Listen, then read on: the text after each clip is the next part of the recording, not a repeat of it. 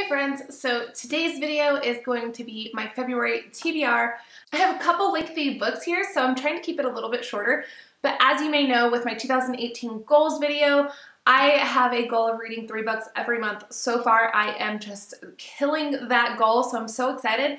I'm probably just trying to get a little bit of a head start while I have the free time before baby arrives and just kind of get some of that, like, definitely some self-care at this moment. I am in the third trimester, things are very crazy, I get very tired, and so this is such a nice way to pull back, relax, and do something for myself before all the madness kind of begins. So anyways, I've got uh, five books here, which I feel like is definitely a little bit, like, ambitious, but I think I can do it. I've I've kind of geeked out a little bit and did the math, and if I basically give myself one week for all the big books and then a couple days for the short little book here, I think I can squeeze it all in as long as I stay on track.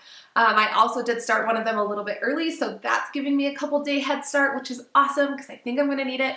But let's dive in, show you the books that I'm reading, and if you decide to read any of them as well, I would love to have you join me and do a like awesome little buddy read. One of them is actually a buddy read for the whole month, so I'm so excited. I will talk a little bit more about that and share that with you guys and make sure you have all the details. So if you want to join in, you can because as of this video, you, we're probably already a few days in, so definitely gonna give you some time to grab the book and catch up. So anyways, the first book uh, on my TBR is She Regrets Nothing by Andrea Dunlop. This does release on February 6th, so keep an eye out. I think it's going to be a really great read for the month with Valentine's Day and everything kind of coming. I haven't read anything by Andrea Dunlop yet. I do have Losing the Light on my TBR, so I'm kind of bummed I haven't gotten to it yet, but I've been seeing this around and the hype is pretty good, so I'm excited to read this one. The next one is, again, this is this is the start of the big guys. This is Bone Music by Christopher Rice, and this is going to be on sale March 1st. I am really looking forward to this.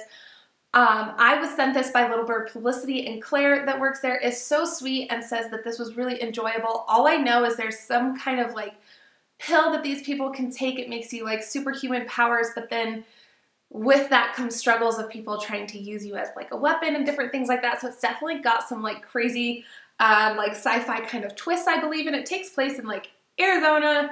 I don't know. I just think this sounds amazing, and I have been getting more and more into sci-fi lately, and it just really is surprising and shocking because I didn't think I would like that.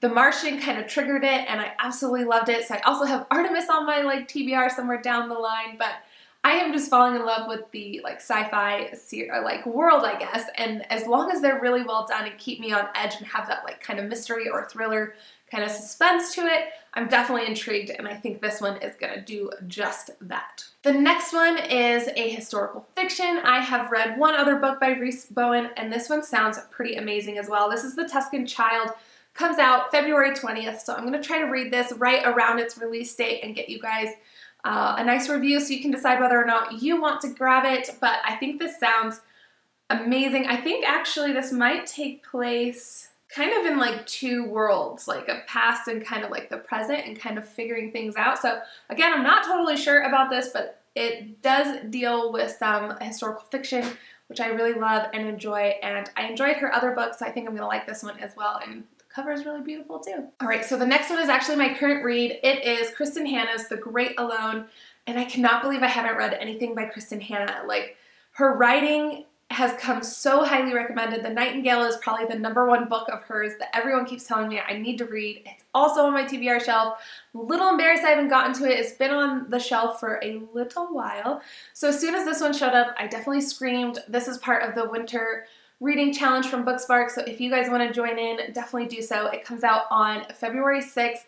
I will probably be splurging for the hardcover of this because it is so beautiful. There are so many passages that I absolutely love and I'm just under halfway and I really am enjoying this story. I love the environment and the characters and there's so many passages in this that are just like so breathtaking and beautiful and I can't wait to see how this kind of rounds out towards the end. So I'm really enjoying this.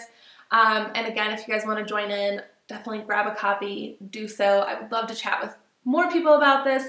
Um, and by the way, all the links for these books will be down below It's an Amazon link so you guys can get the synopsis. You can purchase whatever you guys feel like you want to do. Um, but I'm definitely excited to just jump in further to this. I think I will have it done by this weekend, hopefully. Um, I'm finding it really hard to put down, but I also have a hard time staying awake really late. So I'm just carrying this with me, reading it every chance I get, and I am just loving it. I do want to give you guys a quick heads up though that there are some like trigger points in here with domestic abuse. So if you guys are very sensitive to that topic or subject, definitely like tread carefully. But what I can tell you is it is a little heavy. It is definitely breaking my heart, but I also really love the storyline. And the last one that I have here for you guys is going to be the buddy read for February. I am hosting it on my Bookstagram account, so if you guys don't follow me and you would like to, there's a link below to that. If you already follow me, that is fantastic, and I hope you will join in on this read. I also have several buddies that are already going to join in, and I also have another friend that is hosting a little uh, buddy read of it as well. So we're kind of like merging them and just letting everybody really read and connect over the story. It is The Immortalist by Chloe Benjamin. This has been getting so much hype and amazing raving reviews, and I've been told that some of the topics in here will really create really good like discussion topics. So I'm excited to see what everybody's thoughts are on it, see what all the hype is about, and just really get to like get a feel of this uh, author's writing because I haven't read anything by Chloe Benjamin either which I believe she has one other book, but this is being said to be like some kind of a literary thriller. It sounds so intriguing, and I just can't wait to dive in. So February 1st, this bad boy starts. I will have all the information for you guys on my account. So if you guys want to join in, definitely grab a copy. There's a link below. Join in, come chat with me and get all the details. Um, and then also don't forget, if you guys do read, you can hashtag read with Jessi and I share everybody's uh, posts throughout the week, different photos that I'm loving. So definitely jump on board with that too, because I think it's just another fun way to kind of share our love of this book and the beautiful cover that it has. All right, you guys, so this is the stack of books that I have on my TBR for February. I would love to know what your guys' um, reads for or TBR pile or whatever stack is going to be for February. So comment below, let me know, and if we have any in common, let me know that too so that we can chat and share about these amazing books. I'm so excited and I felt like January kind of sped along but also seemed a little bit slow but I know February is just going to fly by so hopefully I can finish all these. I will be in touch with you guys. Lots of videos coming your way. Actually, I shouldn't say a lot. I am downgrading. During the month of January, I did three videos a week. February will probably be more like two a week. It is a little bit shorter of a month, a little bit busier. We got a lot of things going on, especially with trying to wrap up the nursery, get in our classes before the birth and all that stuff. So yeah, definitely gonna be busy, but I can't wait to chat more with you guys. Lots um, of things kind of to say. Different recommendation videos are coming and just fun stuff like that. So definitely stay tuned, subscribe, and I will see you guys soon. Bye.